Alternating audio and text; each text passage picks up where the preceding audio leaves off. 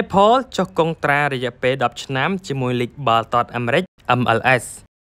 Major League Soccer ដែលជាលីកកំពូលបាល់ទាត់អាមេរិកបានប្រកាសជាដៃគូសហការជាមួយ Apple TV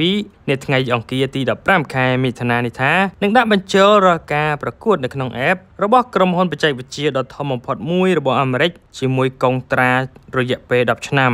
ចាប់ពីឆ្នាំ2023ដល់2032អ្នកគ្រប់គ្រង MLS អាចប្រើប្រាស់សេវាកម្ម streaming របស់ Apple TV ដើម្បីទស្សនារាល់ការប្រកួត MLS League Cup និង MLS Next Pro អនុប្រធានផ្នែកសេវាកម្មរបស់ក្រុមហ៊ុន Apple លោក Eddie Q បាននិយាយថា ជាលើកដំបូងនៅក្នុងប្រវត្តិសាស្ត្រកីឡាដែលអ្នកគ្រប់គ្រង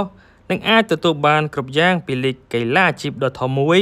នៅក្នុងកន្លែងតែមួយ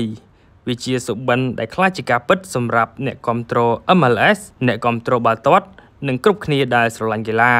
គ្មានការបំបែកគ្មានការរារាំងគ្រាន់តែមានភាពបត់បែនក្នុងការចុះឈ្មោះសម្រាប់សេវាកម្មដ៏ងាយស្រួលមួយ ដែលផ្ដល់ឲ្យអ្នកនៅគ្រប់យ៉ាងពី MLS គ្រប់ទីកន្លែងគ្រប់ពេលវេលាដែលអ្នកចង់ទស្សនា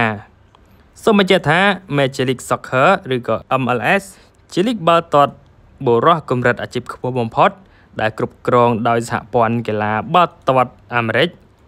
ដែលមានសមាជិកភាព28ក្រុមចូលរួមដែលក្នុងនោះមាន25ក្រុមនៅអាមេរិកនិង3ក្រុមទៀតមកពីកាណាដា